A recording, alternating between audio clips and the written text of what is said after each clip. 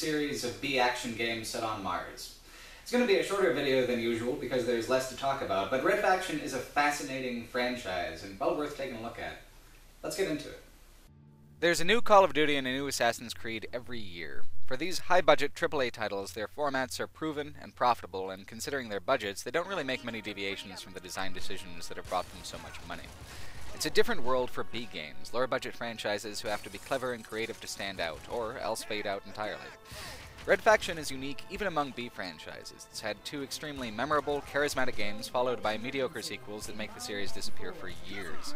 It's rare for franchises to get second chances, even rarer to make the same mistakes twice and still persist. Despite being canned after the fourth game, it looks like Red Faction will even survive the bankruptcy of its original developer. The first game, though, is a real classic, not because it's great, it's not great, but it is overwhelmingly ambitious, fast-paced, and full of personality. Other critics, especially around the time of its release, made many comparisons to the original Half-Life, casting Red Faction as a kind of lower-budget take on the stylistic changes Half-Life brought to the first-person shooter genre. The main way it follows in Half-Life's footsteps is in its pacing and its level design. It's a one foot after another continuous linear journey through realistically proportioned environments with a natural feeling escalation of scale and conflict. The way a player interacts with both games, the mechanical feel of them, is pretty much the same. Red Faction is different in every other way besides this core design philosophy, however, from tone to handling the player character to overall quality. It's an ambitious game. Many of those ambitions are left unfulfilled by the time the credits roll.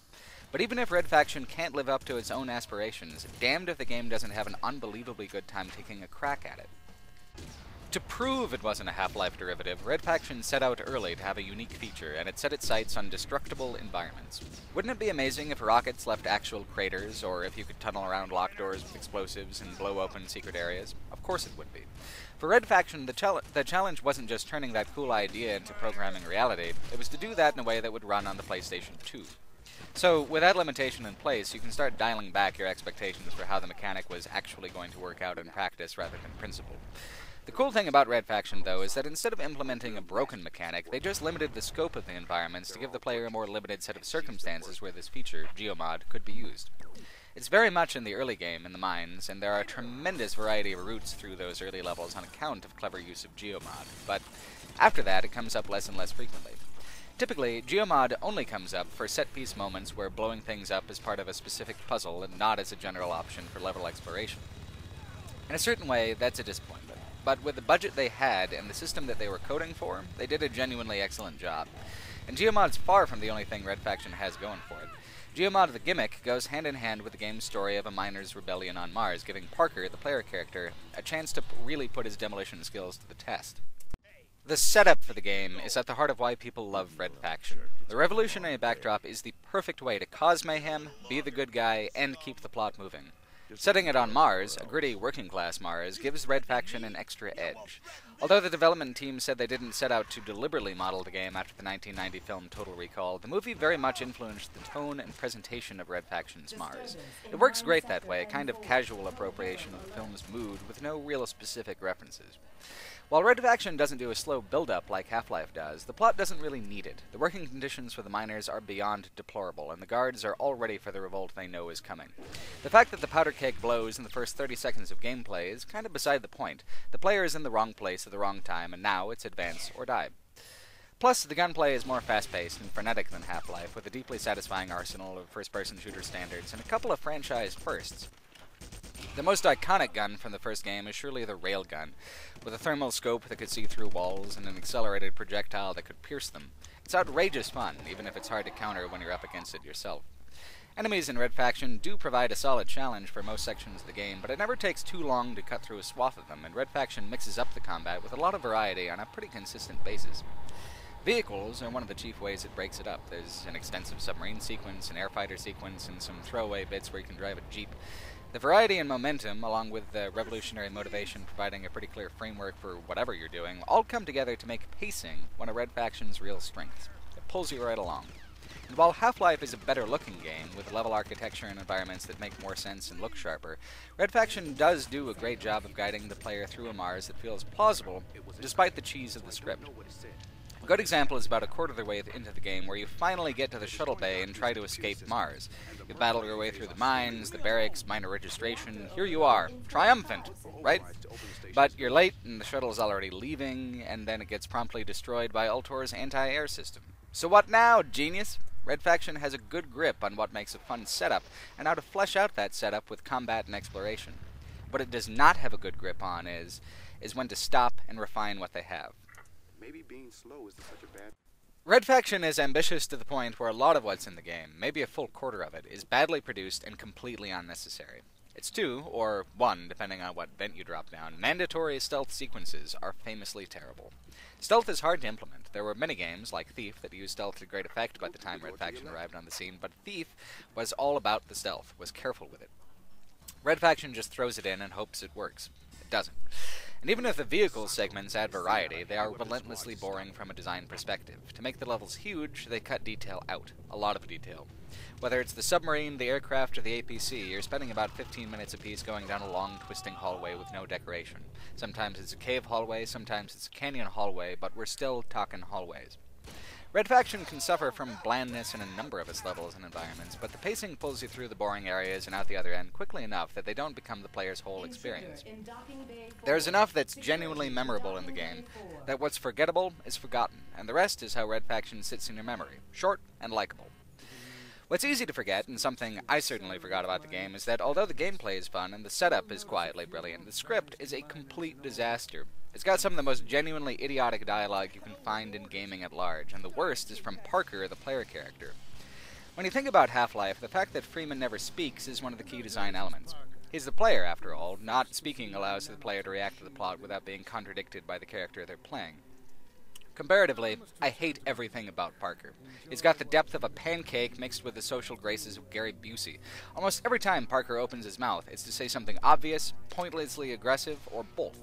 As the plot moves on, none of the other characters respect Parker either. The plot is conveyed mostly by impatient order barking, and Red Faction itself, as a miners' revolution, seems to succeed based solely on Parker being conveniently nearby things they need done. I mean, plot happens. There's a whole thing with a scientist named Capek and his bizarre experiments on the miners, and a whole thing with a ruthless mercenary lady.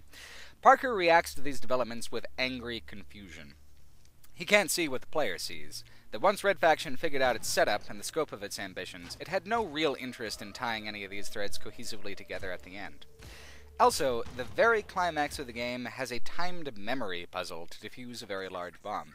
I actually beat Red Faction for the very first time this playthrough because middle school me never got the randomized puzzle right.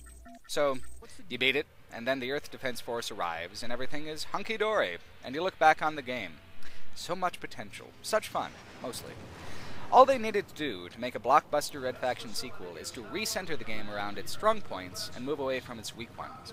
It is too bad that the second game did the opposite.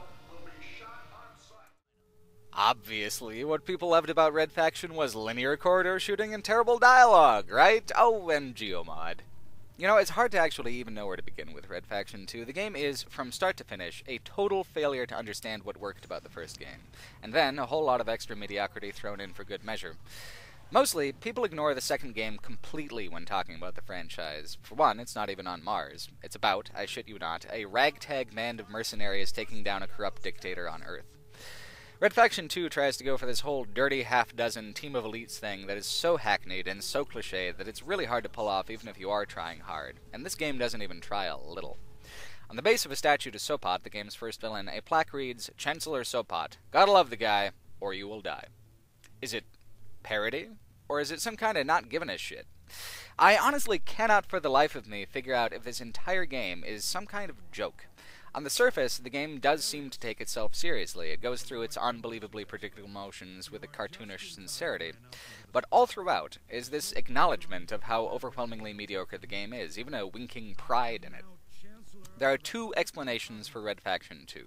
Either one, it is a failure to give a shit about what makes a good Red Faction game or a good game period, or else it is two, a flat out refusal to give a shit about those things. The result is the same. Red Faction 2 is terrible, but the intent behind its awfulness is a riddle of the Sphinx as far as I'm concerned. Bizarrely, the game features two big name action movie stars doing voices, Lance Henriksen and Jason Statham, both slumming it hardcore in what has to be two of their all time worst voice acting performances. If you ever happen to see either of these two guys at a convention of some sort, I'd encourage you to ask them about Red Faction 2. They probably like hearing questions they've never heard before. In any case, the question you want to ask about Red Faction 2, the question you uh, might find a real answer to when playing the game, is how it differs from the original and why. Since the game is mercifully short, the answers are pretty clear. First and primarily, the second game knows that the first had solid, heavy, fast-paced action. It was linear, but broke up the linearity with incredible variety and numerous vehicle segments. On these points, the sequel actually holds up okay. Variety, if nothing else, is something Red Faction 2 does kind of well in a certain respect. You can bet that you'll be doing something different for different reasons every 20 minutes or so, and that's good. Vehicle sequences are much more robust than in the first game as well, although they're very much on rails. You're the gunner, not the driver, mostly. But you still get to pilot a battle mech, engage in tank battles, and assault office buildings and freeways from the air. It's kind of fun in an extremely generic, if you like shooters, maybe you'll like this kind of way. It just leaves no real impression, one way or the other. Without Mars, the setting has no bite. Really, beyond the fact that the first game's Ultor Corporation was propping up SOPOT and created the nanotechnology that makes your squad so, oh my god, ultimate badass, there's literally nothing connecting this plot to the other. The revolutionary theme is still there, but you're not with the Red Faction until a very obvious betrayal at the mid-game. The revolution against SOPOT is also called the Red Faction because, well, branding, name recognition.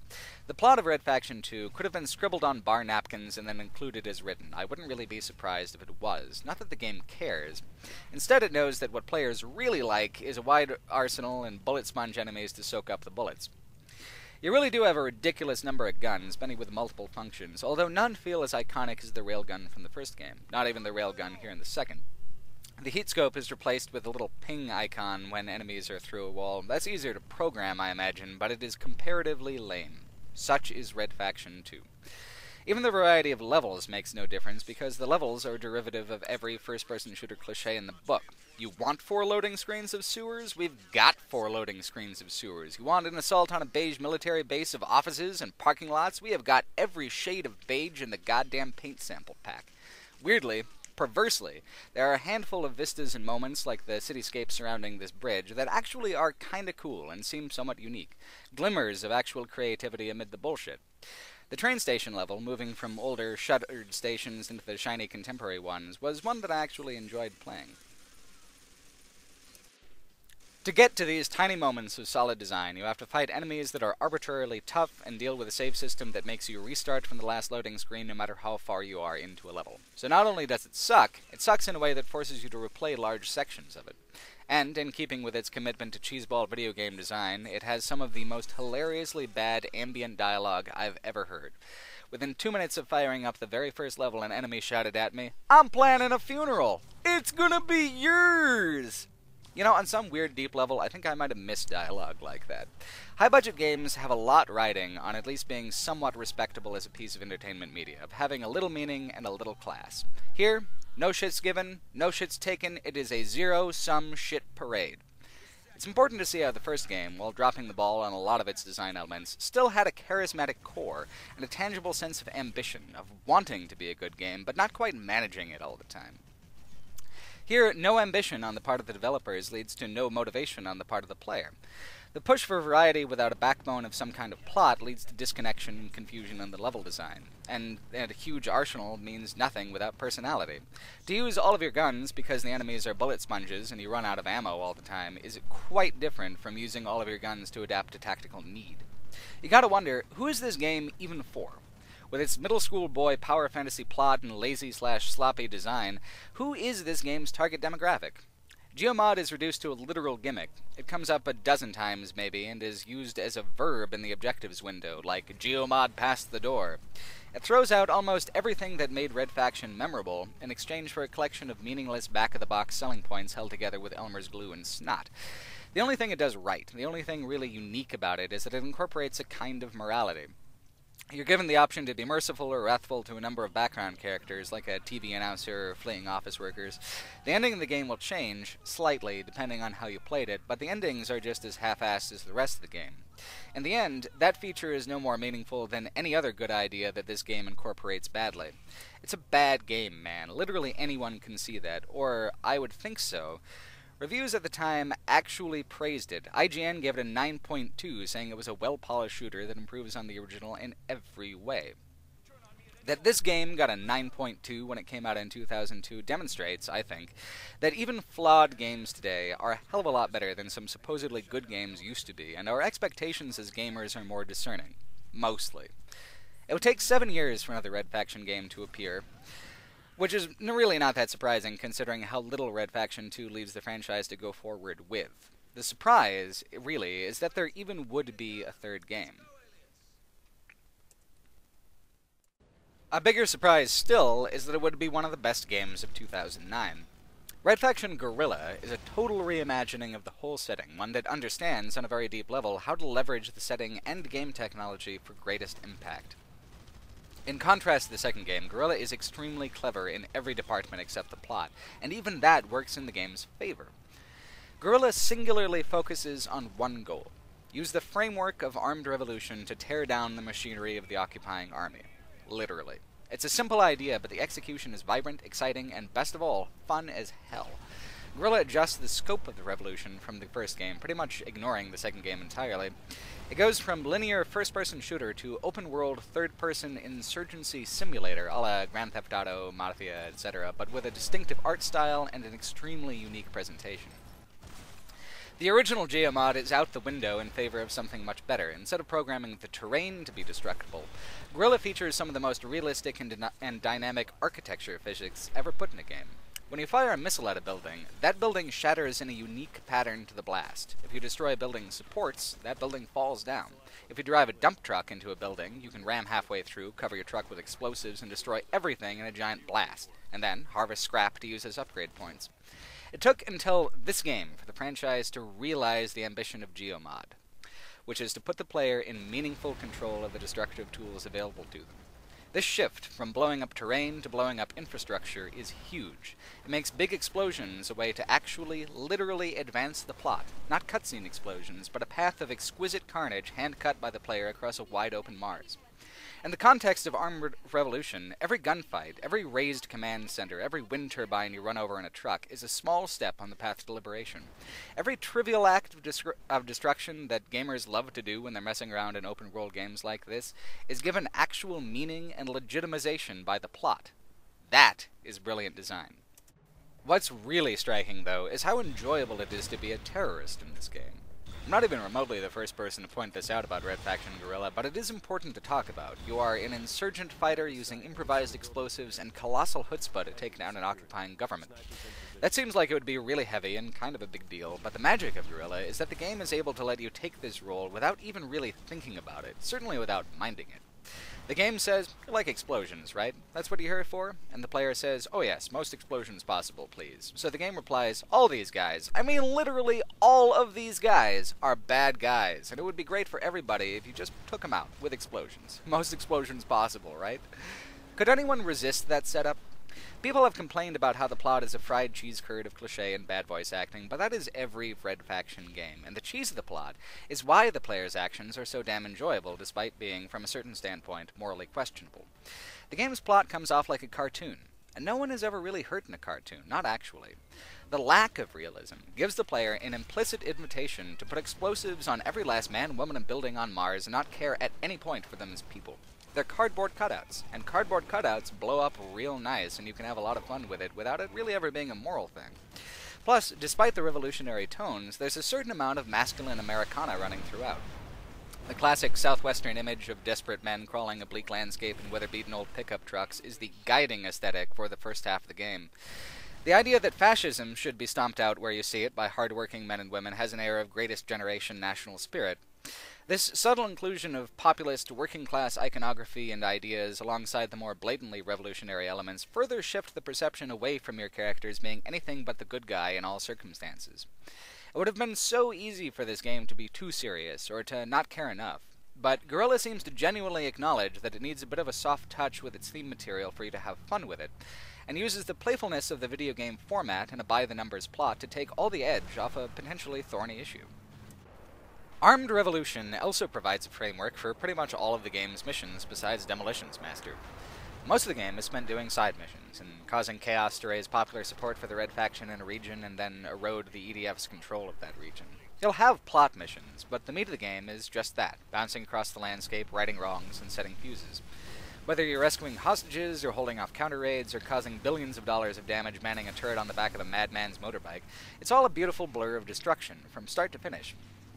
The Demolitions Master side missions aren't really even missions, they're these amazing little puzzles where you have to blow up something in a very specific way with extremely limited resources. They're hard towards the end, but always fun and always challenging, and just so damn satisfying.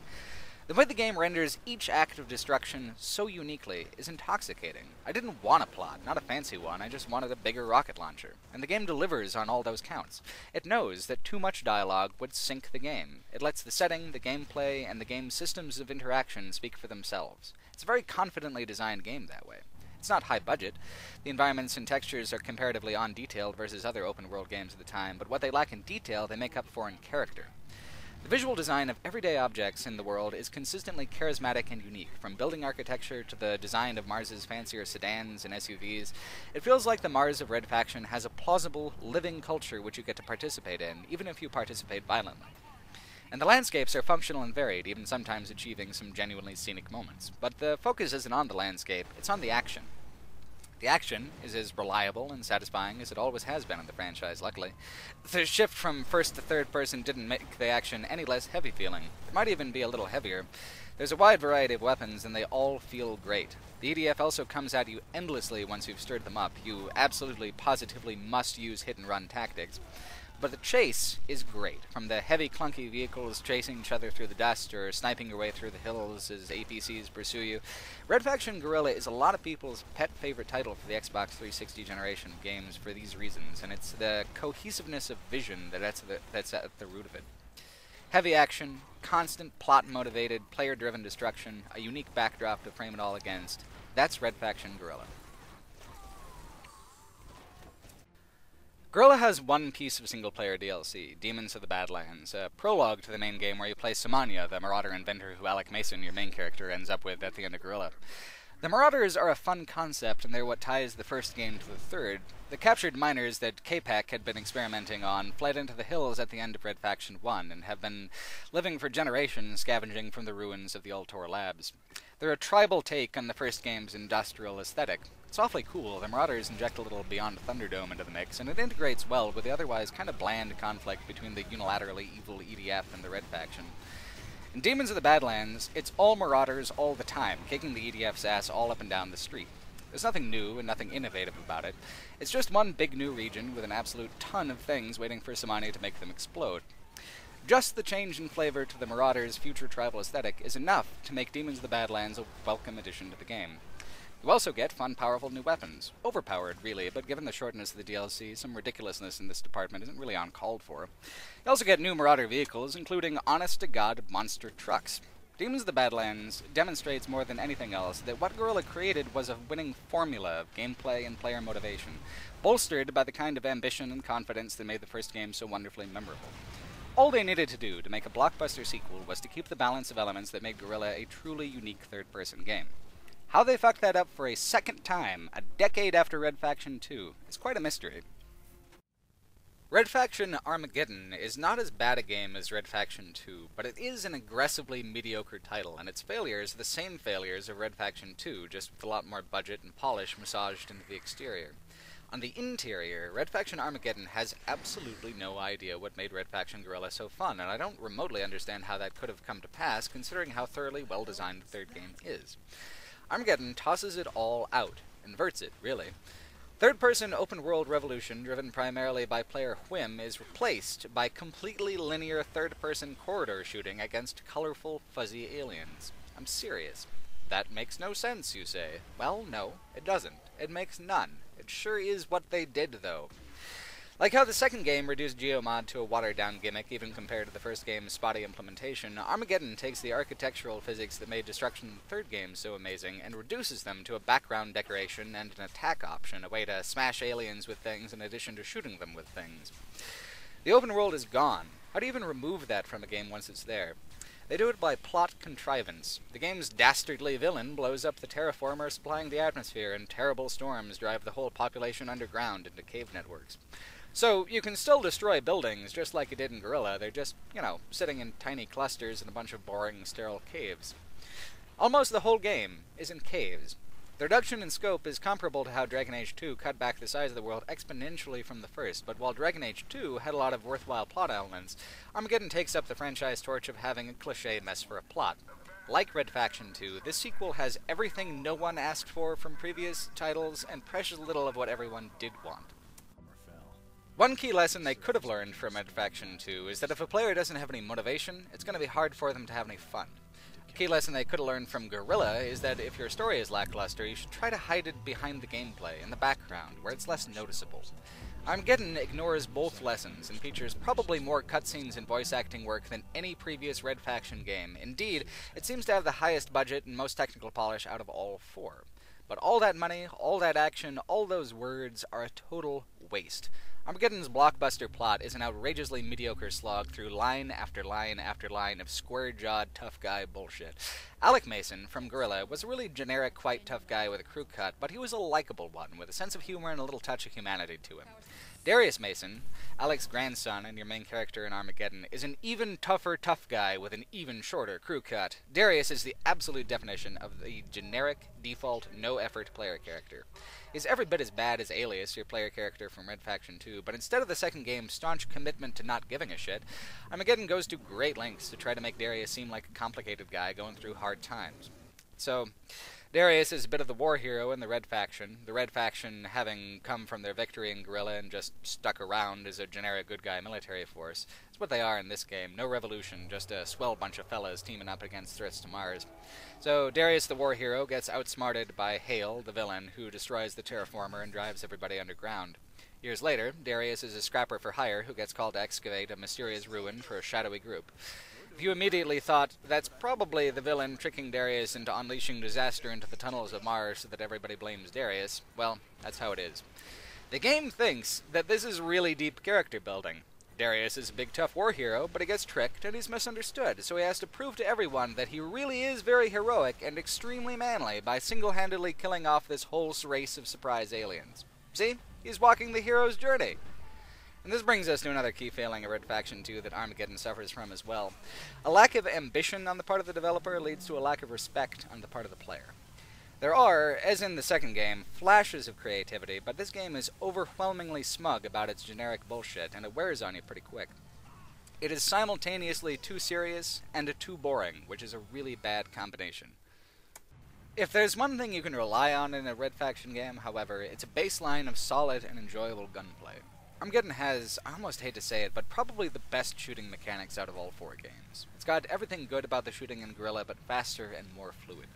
And you do get one amazing toy to play with, the magnet gun. You can use the magnet gun to pull anything you attach an anchor to violently towards another anchor. Anything. Pull an enemy towards another enemy and make them collide, make a building fall down and a whole cluster of fuzzy little evil aliens. However you want to play around with it, play around with it. It has unlimited use. It's a genuinely novel and fun bit of design, and by far the most iconic and memorable thing about Armageddon. The game also pits you against, numerically, way more enemies than any other Red Faction title. A single playthrough has kill counts in the thousands. So you have ample opportunity to use the wide arsenal, an arsenal that in many ways takes after Red Faction 2 more than any other Red Faction title, from its focus on dual-wielding pistols and dual-wielding submachine guns to its wide range of exotic, neat idea guns. In another design cue from the first two games, Armageddon features lengthy vehicle sequences. You get two kinds of battle mech, an airfighter of some sorts, and many other vehicle and turret events. These are actually a lot of fun. You kill a staggering number of things, the special effects are bright and sharp, and it breaks up the rhythm of the game's on-foot combat. That on-foot rhythm consists of clearing waves of enemies, color-coordinated by attack style and toughness, destroying the nodes they spawn from, trashing some incidental two-story buildings, and then collecting the barrels of upgrade points the developers have hid behind doors and around dead ends, and then moving on to the next part of the cave where you'll do the exact same thing. This is repeated over and over across a dozen hours. That's a rhythm that needs breaking up. Honestly, the only interesting levels are the ones that reference previous Red Faction games. From shooting your way through the ruins of Dust, a major town from the third game, to scavenging lost nanotech from Ultor Laboratories, it's these settings that they've previously covered that are the most compelling. Weirdly enough, this fourth game continues to expand on the lore of the first, making it so that the plague from the first game was something that the evil mad scientist Capek reverse engineered from these weird alien creatures, and that Ultor knew about the aliens the whole time. It's a strange integration, and I'm hesitant to say that it even works at all. The Mad Scientist plot was the cheesiest part of Red Faction the First, and to spin a whole game off of that tangent seems really misguided. But so it is for Armageddon. It has a new feature that sounds fun, a wrist device that automatically rebuilds structures you destroyed or had been destroyed previously. Functionally, the player absolutely needs this gimmick because this is a linear corridor shooter where you have to blow up the corridors, so often you end up having to repair the way forward after you fight through it. It's a solution to an inconvenience posed by the removal of the open world, which sounds a lot less cool than nano repair function. By the end of the game, you've repaired the terraformer and defeated the alien with their one weakness. Spoilers, it's air! Couldn't have guessed it. So, the game undoes the handicap that it gave the setting by driving the population underground at the end of it. But Armageddon was a disappointment to both fans and the publisher, so THQ discontinued the entire series. One final piece of DLC was released for it, a desperate bid to capture the player's attention for just a couple more hours, for just eight more dollars. Path to War is a flailing mess. It's a strange final plea to the player to forget about Red Faction Guerrilla and think about what makes Armageddon so well, ultimately forgettable, but the word that the developers were looking for was probably great. Path to War is four new missions, all from slightly different perspectives. The first mission lets you play as Malice, ha ha ha, right? Hale's second in command for his zealous marauder Doom army as they assault the Terraformer. The whole mission is one long aerial assault. Honestly, I'm not sure why they felt like the Terraformer was so compelling an idea. We already spend at least two hours there in the main campaign, at the beginning and at the end. Why more? Yes, we're all aware that the Terraformer is a big deal, but choosing it as the DLC's as the DLC's focal point means that the player won't even get the opportunity to see something new. So you get the Terraformer from Hale's side in the fighter craft, and then you get to be a tank-driving man for the Red Faction side for a little while. It's fun, sure, but pointless and derivative of all sorts of Red Faction you've already played, whether the bland tank missions in Red Faction 2 or the bland Terraformer run at the beginning of Armageddon. Third mission puts you back in Darius's shoes, right before the opening of the game. I mean, what did Darius do before the main campaign is a fine question, but I wish they'd had a more ambitious scope than, oh, like, right before? Oh, he's fighting very nearby. It's more of the well-programmed, pointless third-person action mayhem that Armageddon is characterized by. There's no resolution to any of these missions because the campaign begins right after. Then, in the final mission, it's suddenly five days after the aliens were released, and you're on your way to Bastion, about a third of the way through the main campaign. This short fourth mission is all about killing Malice, since he didn't actually come up in the main campaign, and now he's a loose thread. It's as if all four of these missions were not actually made as DLC. It feels more like they were cut from the main campaign and then thrown in like the deleted scenes reel on a DVD extras menu. It is a huge ripoff for $8 and it might have been the last Red Faction thing ever, this passionless exercise in paint-by-numbers action game design. Luckily, it won't be.